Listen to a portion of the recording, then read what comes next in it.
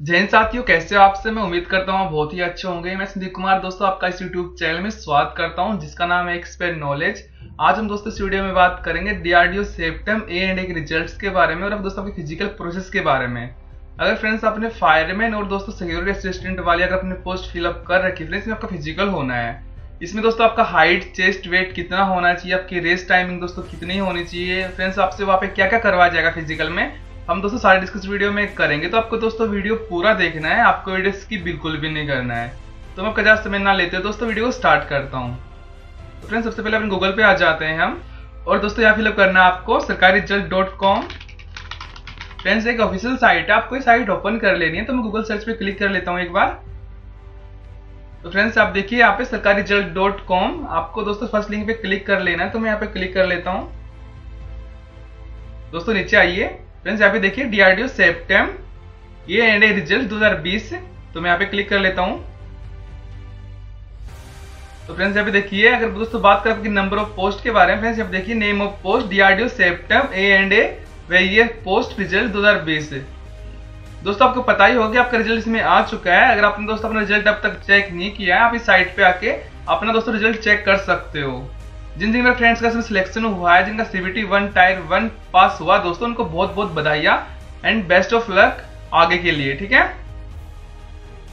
Friends बात आपकी number of post के बारे में फ्रेंड्स में आपकी टोटल पोस्ट 224 पोस्ट हैं, जो आपको यहाँ पे स्क्रीन पे देखने को मिल रही है अभी। तो नीचे आ जाते हैं दोस्तों।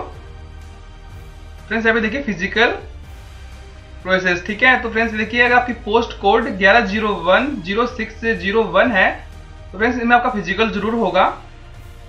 फ्रेंड्स अगर आपने सिक्योरिटी असिस्टेंट वाली पोस्ट और फायरमैन वाली पोस्ट फिलअप कर रखी है दोस्तों, इसमें आपका फ़िज़िकल हंड्रेड परसेंट होगा। और फ्रेंड्स देखिए, यहाँ पे कैटेगरीज मेल फीमेल्स अगर फ्रेंड्स आपकी हाइट के बारे में बात करूँ मैं, जो भी मेल कैंडिडेट हैं, उनकी इसमें दोस्तों हाइट 165 सेंटीमीटर होनी चाहिए। और दोस्तों फीमेल के लिए 157 सेंटीमीटर अगर मैं चेस्ट की बात करूँ इसमें फ्रेंड्स आपकी जो चेस्ट 81 सेंटीमीटर होनी चाहिए कम से कम बुला के 86 होनी चाहिए। और फीमेल की इसमें कोई चेस्ट नहीं मांगी गई है आपको वहाँ पे पास कर दिया जाएगा। अगर आपके वेट के बारे में बात करूँ आप में दोस्तों कम से कम सुन, ध्यान सुनिएगा आप कम से कम 50 के वेट होना चाहिए। 50 से कम अगर आप में वेट है दोस्तों अपना वेट बढ़ा लीजिएगा। अगर आपके में दोस्तों 49 भी वेट है आपको वहाँ पे भर्ती से बाहर कर दिया जाएगा। ध्यान दीजिएगा। अगर आपके अंदर 50 से कम वेट है तो आपको भर्ती से फेल कर दिया जाएगा। आपको वहाँ से बाहर निकाल दिया जाएगा सेंटर से।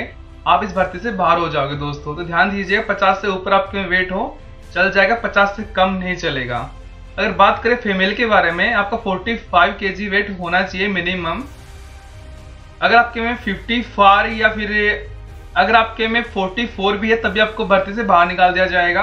अगर आपके में 46 है या फिर 47 50 तक भी है, आप पास हो इसमें, लेकिन 45 से कम नहीं वेट आपका होना नहीं चाहिए इसमें। अगर बात करें आपके रनिंग के बारे में, इसमें जो मेल कैंडिडेट है, उनकी 1600 मीटर रेस होगी, जो आपको सात मिनट में क्लियर करनी है।